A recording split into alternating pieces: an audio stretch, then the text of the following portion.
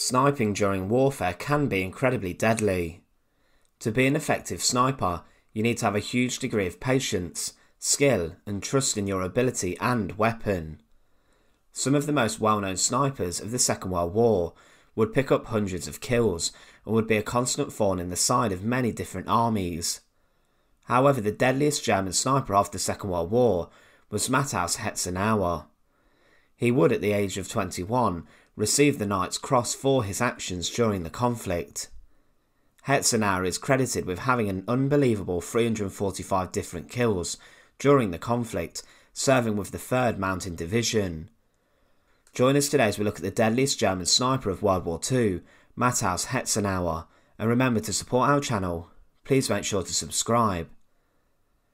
Matthaus Hetzenauer grew up in an alpine part of Austria and was born on the 23rd of December 1924.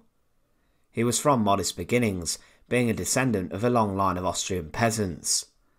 The rural village he was raised in was close to the German border, and his family would try to live off the land as much as they could. Matthaus's father was a brilliant hunter, shooting deer, moose, and turkey for all of the family to eat. Matthaus would follow in his father's footsteps, and at a young age he became an adept sharpshooter. Through hunting, he learned how to best conceal himself and use his surroundings and camouflage to not give himself away, and this helped him in his training as a sniper. He learned also how to trick an opponent and also how to cover ground quickly if his shot did not hit the target. This also allowed him to quickly leave an area in a tight spot with an enemy pinning him down. At the age of 17, Hetzenauer used his hunting skills in a more deadly sense. He was drafted into the German army and was assigned to the 140th Mountain Rifle Reinforcement Battalion in Austria. In January 1943, he changed his units and received training on how to use mortars and artillery, but was trained as a mountain infantryman for two years. This role suited Hetzenauer, and during this, one of his commanders and superiors noticed his skill with a rifle. From March to July 1944, he then began his formal training as a sniper within the German army. He became adept at using two weapons in particular. He relied on the Karabiner 98K sniper variant, which was fitted with a 6 times telescopic sight, this being his favourite weapon. He also carried a Gewehr 43 with a 4 times telescopic sight.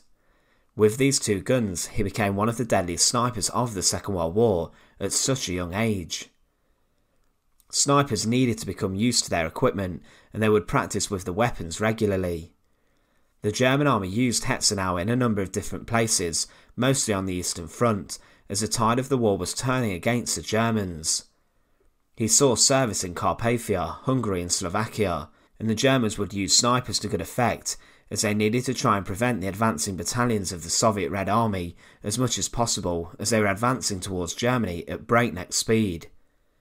On the defensive, the Germans would use artillery units and different weapons such as machine guns and artillery to break up the Soviet advance. Hetzenauer was deployed in this role, and he was tasked with defending mounting units from Soviet snipers and machine guns. He would need to think quick against Soviet snipers and would be gripped by a number of different sniping duels. On a daily basis, the German mountain brigades and regiments would face constant barrages from Soviet artillery, and it would be Hetzenauer's task to try and slow down the advances. He would choose to shoot Soviet commanders and unit leaders and machine gunners. He would also sometimes work through enemy lines, shooting targets to get close to a commanding officer to then inflict damage in the hierarchy of a unit. Sniping during World War II was often a rather slow and patient art, and it was sometimes a game of chess. Hetzenauer would bide his time, taking out lower ranks in order to get a prize shot on the commanding officers. He said, I had to shoot at enemy's commanders and gunners because our own forces would have been too weak in numbers and ammunition without this support. As mentioned, he would have to be incredibly patient and for hours would sometimes lay in the snow and frozen terrain in camouflage before he waited for that one moment where he would get a shot away.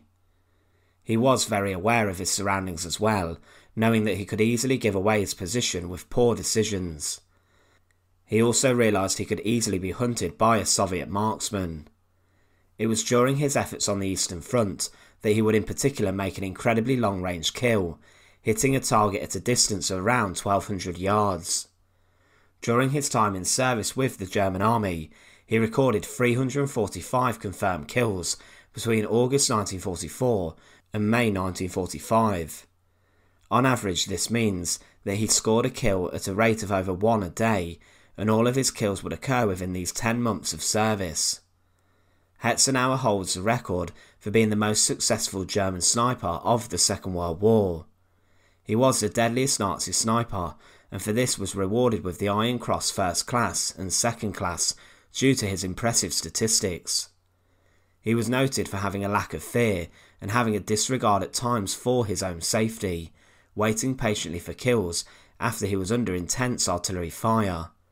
So as he laid prone in cover, Hetzenauer would be regularly shelled and explosives would be going off all around him. He demonstrated immense bravery during these episodes. Hetzenauer also received a number of other campaign medals and awards, such as the Close Combat Bar in gold, the Infantry Assault Badge in silver, the Black Wound Badge, the German Cross in gold, and the Gold Sniping Badge. Things towards the end of 1944 were bad for the Germans, with them losing a large amount of territory, and with a defeat seemingly on the horizon. Things for Matthaus Hetzenauer would also go wrong, as he suffered in November 1944 a head trauma sustained from artillery fire. He managed to recover from his head injury, but as the war came to a conclusion, he was injured yet again. He would then continue to cover the retreat of his unit towards Germany as the Soviets stormed forward, and he was eventually captured by the Soviets in May 1945. As with many prisoners of war who were kept inside Soviet prison camps, Hetzenauer was not kept in good conditions. His life as a prisoner of war was not pleasant, with many of his fellow soldiers being killed and tortured. In total, around 3 million German soldiers were captured by the Red Army, and a huge number would end up dead. Hetzenauer spent a total of five years inside a tough Soviet prison, and the conditions were harsh, and he was finally released five years after the conflict in Europe came to an end in 1950. Very little is known as to what he did after the war, but he would return to Austria on January the 10th, 1950, and he would remain inside his hometown until he passed away at the age of 79 on the 3rd of October 2004. Matthaus Hetzenauer is the deadliest Nazi sniper of the Second World War. He was just over 100 kills short of Simo Häyhä, the White Death's record. Like with many snipers, a background in hunting was key for Hetzenauer's success, and during the Second World War, he managed to claim a huge number of accolades. Maybe one of his greatest successes was not the huge kill count he racked up of over 300, but instead surviving the hellish conditions of the Soviet prisoner of war camps, which had an extremely high death rate. Once again, thanks for watching. To support our channel, please make sure to subscribe, and once again, thank you so much for watching.